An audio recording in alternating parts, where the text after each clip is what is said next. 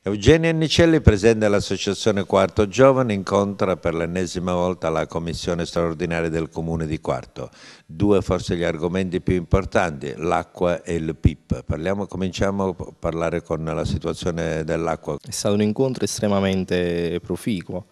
Ovviamente si è svolto con la presenza dei responsabili dei servizi del, del, del Comune di Quarto e ovviamente stiamo monitorando, come abbiamo promesso ai cittadini di Quarto, eh, in che modo si sta indirizzando poi l'affidamento di questo servizio. Il commissario è stata estremamente esaustiva dicendo che tutta la procedura per il momento è stata affidata al, ad un organo preposto, attualmente stanno andando avanti con delle gare eh, a tempo per cercare di tamponare l'emergenza. Noi ovviamente abbiamo incalzato cercando di eh, compulsare, sollecitare l'amministrazione comunale affinché venisse posto un rimedio definitivo anche a tutto quello che poi ha causato questo grosso disastro anche di natura economica nell'amministrazione comunale, che sono le grosse perdite eh, d'acqua che sono presenti sul territorio, gli allacci abusivi e eh, gli insoluti che continuano quindi ad essere presenti nel nostro territorio. Vogliamo... A proposito degli insoluti, della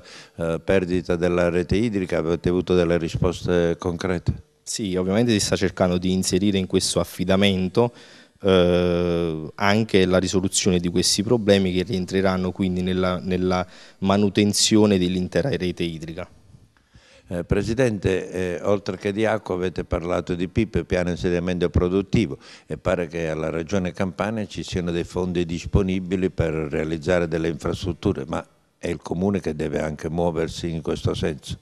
Sì, in realtà noi come associazione di Quarto Giovane stiamo portando avanti questa azione, come abbiamo anticipato in passato, abbiamo compulsato la Regione Campania affinché venissero sbloccati ed inseriti nella delibera di accelerazione della spesa eh, anche il progetto della realizzazione dell'infrastrutturazione dell'area PIP del Comune di Quarto.